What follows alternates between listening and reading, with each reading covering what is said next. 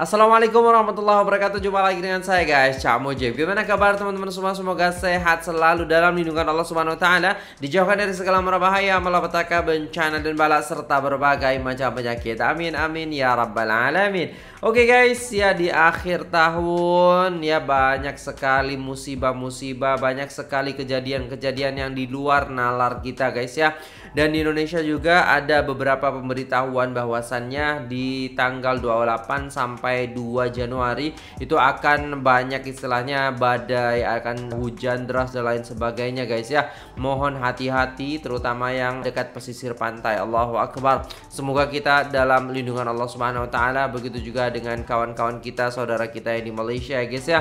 Dan di mana pun kalian berada, ada di Singapura, ada yang di Thailand, ada juga yang di Brunei ya. Terima kasih buat teman-teman semua yang sudah nonton video ini. Kami doakan semoga kita semua ya, kita semua dan keluarga kita senantiasa dalam lindungan Allah Subhanahu wa taala ya. Di dalam kehidupan kita ini banyak sekali dugaan dan cobaan sehingga kita harus betul-betul bersabar dan mendekatkan diri kepada Allah Subhanahu wa taala. Pertolongan hanya milik Allah Subhanahu wa taala. Jadi mari kita meminta kepada Allah agar supaya ya kita menjadi hamba-hambanya yang ditolong oleh Allah Subhanahu wa taala daripada banyak-banyak musibah ataupun kejadian-kejadian yang tak disangka-sangka ini guys ya.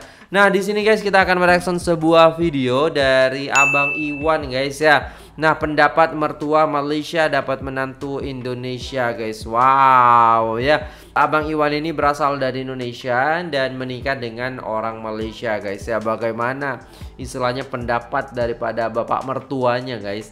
Pasal istilahnya menantu dari Indonesia. Kita nak tahu juga lah macam mana pandangan-pandangan orang tua sana, orang tua yang ada di Malaysia ketika mendapatkan menantu orang Indonesia guys ya. Oke, jom kita tengok videonya. Let's go. Assalamualaikum warahmatullahi wabarakatuh. Waalaikumsalam warahmatullahi wabarakatuh. Salam satu rumpun, damai itu indah. Oke guys. Hari ini uh, kita uh, ada itu hari daripada subscriber uh, nak kenal lah dengan mertua saya nak buat macam Q&A lah pertanyaan-pertanyaan nanti. Saya akan memberikan pertanyaan kepada mertua saya lah. Uh, uh, Assalamualaikum Pak. Apa khabar Pak? Waalaikumsalam. Khabar baik? Alhamdulillah baik ya. Ah, baik. Alhamdulillah.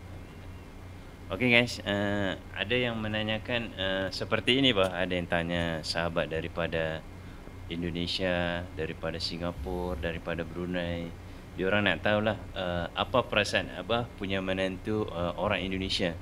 Uh, mula-mula lah. Alhamdulillah. Apa nama ni? Saya apa ni bagi pihak apa nama diri saya sebagai seorang mertua kepada menantu orang luar orang Medan lah. Uh, saya merasa syukur dan berterima kasih kerana kita mempunyai talian rapat antara Malaysia dengan Indonesia. Oh. Sebenarnya saya apa nama ni uh, datuk saya iaitu Mansur Fakih ini dia orang uh, orang sebelah Medan juga. Nah, sebelah Bukit Tinggi. Ah. Ha. Iaitu sebelah uh, Pagaroyong Indonesia. Ha, asalnya sebelah sana juga. Sabit tu saya tak rasa pelik lah kalau saya dapat apa nama menantu daripada orang Medan ni. Kerana asal saya pun daripada sana juga. Moyang. Sebelah ayah moyang, sebelah sebelah apa ayah saya. Ayah. Ya. Okey Pak, yang kedua uh, ada pertanyaan juga daripada subscriber. Uh, dia bilang uh, apa? Uh, macam mana uh, apa?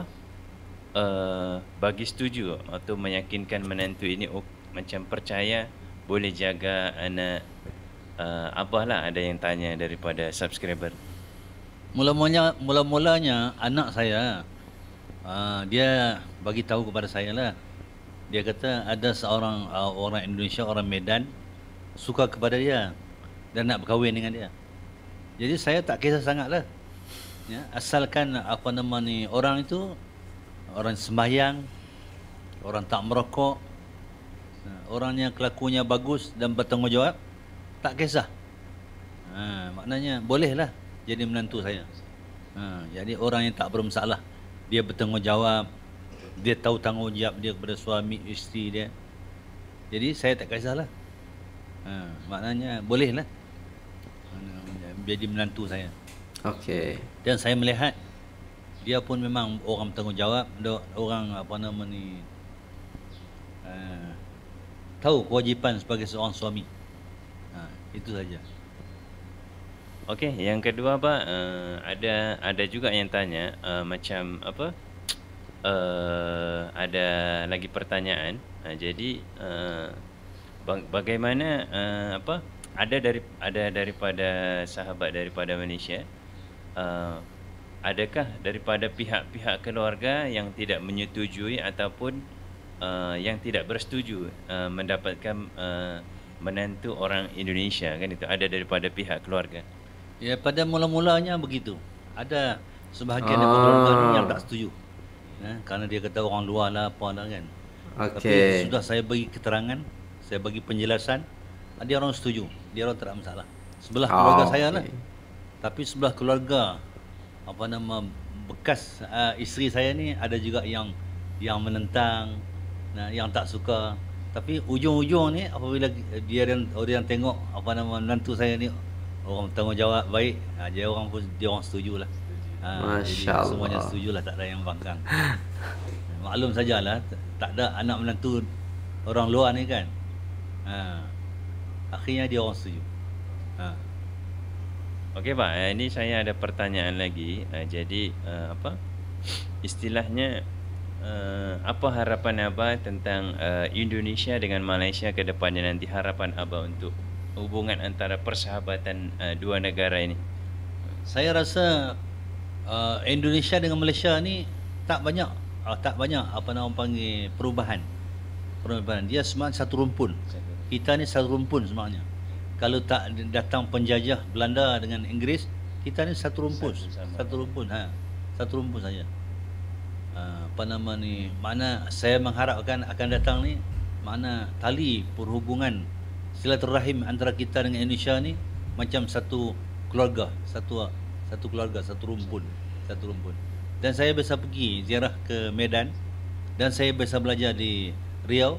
Ha, dia saat saya tengok tak ada apa yang sangat yang pelik.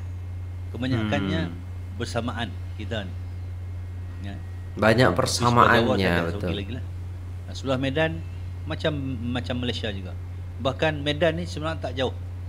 Dia hanya apa nama ni per, apa nama dia perbatasan dia selat saja. Kalau tak ada selat satu tanah aja boleh pergi dengan kereta. Ya, tak pelik mana. Tak ada pelik. Uh, Okey bah, uh, ini pertanyaan last uh, terakhir. Uh, jadi uh, ada subscriber waktu kita balik kampung yang Indonesia itu kan ada yang tertengok lah. Jadi diorang tanya, uh, jadi apa perasaan mertua setelah datang ke Indonesia, kampung halaman Iwan yang ada di Indonesia? Uh, boleh abang cerita sikit suasana di sana masa kita balik ke Medan? Suasana di Medan saya rasa kalau ikut alaminya lebih bagus di sana. Oh.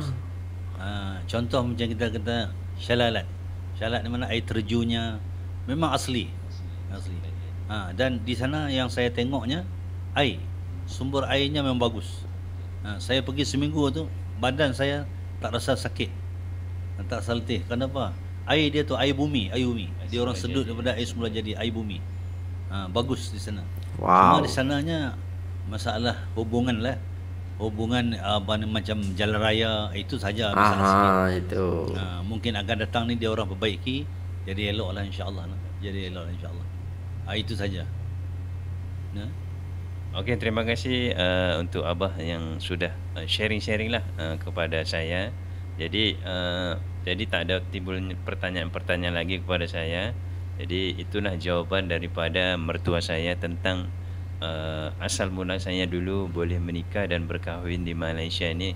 Oh, itulah sejarahnya. Jadi okey terima kasih kepada sahabat-sahabat Indonesia, Malaysia, Singapura, Brunei. Semoga kalian di sana sihat-sihat dan tetap di lindungan Allah Subhanahu Wa Taala. Okey guys, saya akhiri dengan nun wal qalami wa ma yashkurun. Assalamualaikum warahmatullahi wabarakatuh. Waalaikumsalam warahmatullahi wabarakatuh. Oke guys, kita sudah nonton tadi ya kan pendapat mertua Malaysia dengan menantu Indonesia guys ya. Kalau kita lihat, masya Allah Bang Iwan dan juga bapaknya ataupun abahnya ini sangat-sangat kalau bisa dikatakan akrab ya teman-teman sekalian ya. Dan kalau kita lihat juga pendapat daripada bapak mertuanya itu karena Abang Iwan itu emang bertanggung jawab ya kan. Terus istilahnya baik ibadahnya rajin macam itulah nah, siapa sih yang tidak ingin istilahnya punya menantu yang bisa dikatakan ya teman-teman sekalian? Sholatnya tepat waktu lepas itu menjaga anak darahnya seperti itu ya guys ya. Itu sangat-sangat apa ya membuat kita itu tenang sebagai orang tua. Pastinya seperti itu ya kan? Nah saya terkejut ketika bapak mertuanya Bang Iwan ini mengatakan bahwasannya air di Indonesia itu lebih bagus dari air di Malaysia seperti itu. Karena istilahnya lebih segar mungkin seperti itu. Dan kekurangannya di Indonesia itu adalah uh, perhubungan. Maksudnya adalah jalan rayanya mungkin yang lebih harus diperbaiki lagi ya. Tapi kalau di berbagai tempat kota-kota besar sepertinya sudah bagus ya kan.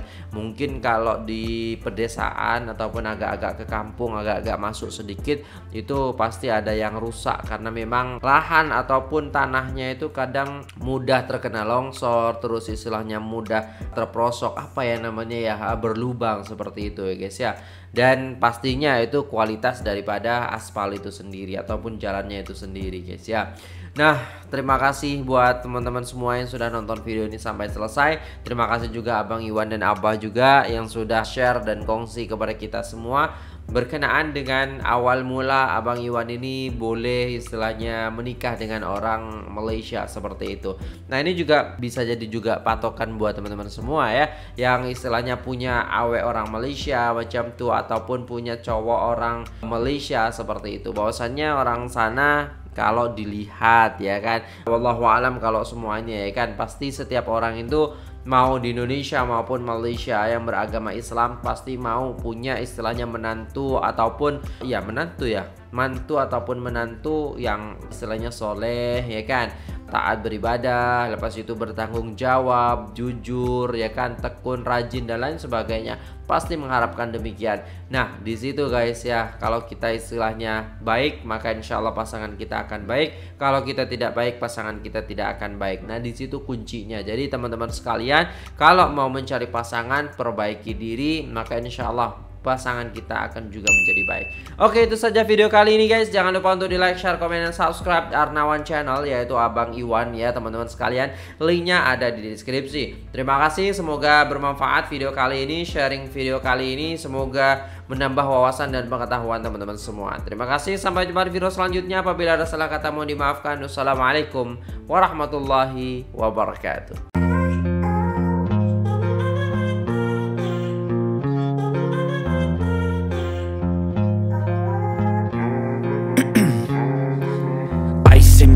I've been driving this train. Years in this lane There's no stopping this flame. Cause I came to the game And I changed it to play. How I like rearrange